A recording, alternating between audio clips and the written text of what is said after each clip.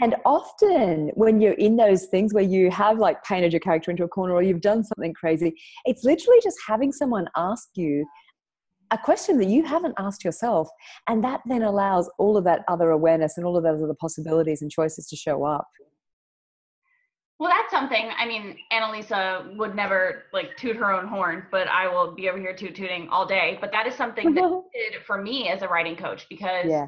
You know it's something where I had been working on a project for for so long, and I had these characters and I had this idea, but I just I hated my characters. They were terrible and they were yeah. flat, and I couldn't. But I couldn't for the life of me figure out why.